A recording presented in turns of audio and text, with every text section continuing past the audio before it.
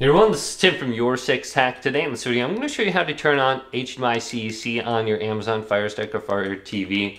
And this will allow you to control your TV with uh, different remotes. So if you got like your TV remote from like an LG or something like that and you want to go and use it, uh, go on down to where it says display and sound under settings.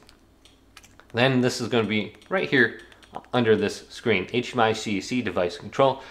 And this says capable devices using your TV remote include playback, navigation, power on and off compatible devices. So if your uh, device is compatible, you can use it on this. So you got ARC, right here, power control, uh, remote pass through, and then allow uh, touch, one touch play. Use your TV as the primary source for playback. So just make sure this is all on and then you should be good to go. Hopefully this video did indeed help you out. If did, leave it a big thumbs up and subscribe my channel down below for more tech videos coming up next on Your Six Tech.